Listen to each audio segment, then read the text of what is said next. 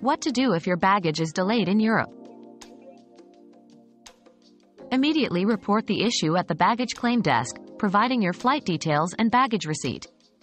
Fill out a Property Irregularity Report, PIR, and ask about the airline's compensation policy for essential items.